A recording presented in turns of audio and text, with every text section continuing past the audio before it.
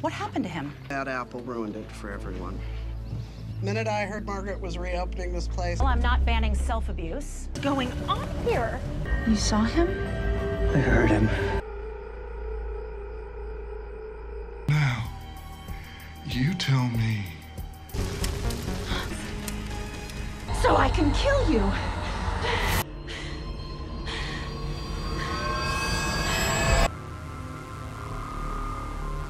On Locks Macabre, but her life has been far from fabulous. For a long time, I searched for meaning in all of this. Why me? Why did all these... And then I realized I will make that fat fuck's crimes look like a Boy Scout jamboree. There it is. If you have a problem with the way I run my empire, then maybe you don't deserve the fruits of its success. I... Seems impossible. You remember. Okay, how long do I have till the cops show up? They're not coming. You want to taste my riches? Without me, you're nothing. The old-fashioned way. Come on, come on. these are the first quarter numbers on the Lizzie Borden house. Fine. I told them this house is in the most charming part of Fall River. Let's turn it into a high-end bed and breakfast. Well-paying few can stay in the actual cabins where the massacres took place. Didn't think it was possible, but it looks worse than I even imagined. What have you been doing?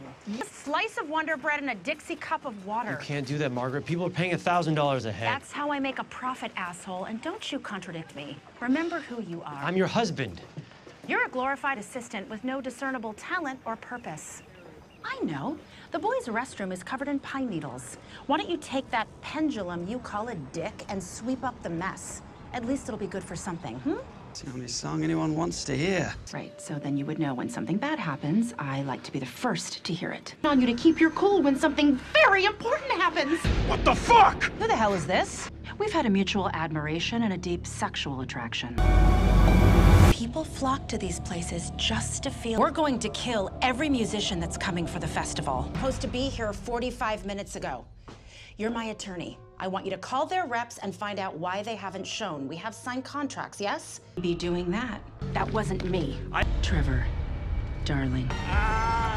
Thanks for nothing, fuckface. Margaret, boo!